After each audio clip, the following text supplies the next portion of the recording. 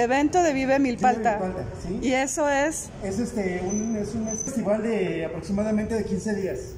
Se va a celebrar en, la- en el poblado de San Pedro Atopan.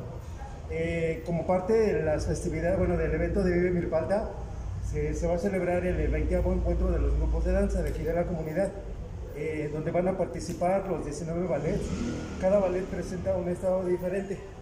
Y este, vamos a iniciar a las 3 de la tarde y concluimos a las 8 de la noche. en noviembre. Como parte de la celebración del evento de Vive Milpalta. Y este es en noviembre. grupos. Es en noviembre, el 12 Y de noviembre, us- en el poblado de San Pedro de Atopa. ¿Y usted a qué, a qué ballet pertenece? Bueno, yo soy este, el director este, coreográfico del ballet folclórico Olin de aquí del Museo Regional de Milpalta. Y su danza, sobre todo, que Eh, presenta nosotros, es eh, Huasteco. en el evento de Guapango. Milpalta, con el, en el encuentro de grupos, vamos a presentar el estado de Chiapas. Ah, ¿sí? Es el, es el programa que vamos a presentar. Y obviamente el ballet tiene ya este, presentaciones en diferentes sedes de, de la delegación y otras alcaldías, ¿no? que son como parte de las invitaciones que nos hacen las mayordomías de los poblados en sus festividades o de los festivales culturales que se hacen y donde el, donde el, el- el ballet ya participa este, pues presentando cuadros eh, de lo que es el género del folclore de México. Tenemos cuadros de este, de la Huasteca de Hidalgo, tenemos cuadros de este, Campeche, tenemos Chiapas, tenemos Veracruz, Tamaulipas, Huasteca de Veracruz, más los nuevos bailes que vamos preparando y que podemos este, preparar porque nos dan un apoyo económico y eso lo invertimos para ir actualizando nuestros, nuestros vestuarios y nuestros repertorios. Ya es un ballet que tiene aproximadamente formado como cinco años y gracias a ello, pues obviamente ya tenemos este, chicas que, que están participando en las presentaciones del ballet folclórico. Una de las tareas importantes que tenemos nosotros como directores de los grupos folclóricos, pues es preservar la cultura en las nuevas generaciones para que los chicos también tengan interés en seguir este, manteniendo este folclore que tenemos y que afortunadamente en, nuestra, en nuestro país es muy variado, muy bonito. ¿eh? Es uno de los, de los países que tiene un género folclórico extenso. Lo apreciamos, lamentablemente. ¿Le ha sido difícil como atraer a los Sí, jóvenes? Es complicado porque lamentablemente los tiempos de los chicos pues los destinan más para el esparcimiento que para participar en este tipo de, de grupos este, de cultura, ¿no? Pero pues es como le decía, una de nuestras tareas, ¿no? Promover y preservar esta, este género dancístico, ¿no? Que pues eh, aparte en este caso a mí es, es mi pasión.